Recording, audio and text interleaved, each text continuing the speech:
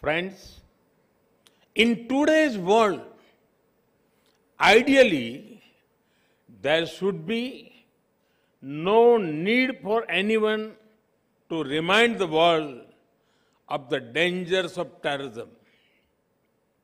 However, there are there are still certain mistaken notions about terrorism in some circles.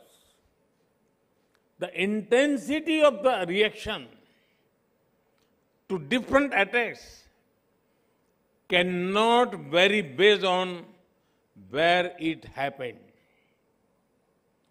All terrorist attacks deserve equal outrage and action.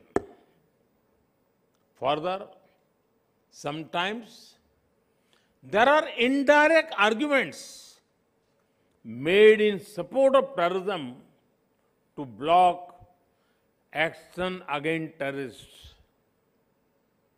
There is no place for an ambiguous approach while dealing with a global threat. It is an attack on humanity, freedom, and civilization. It knows no boundaries. Only a uniform, unified, and zero tolerance approach can defeat terrorism.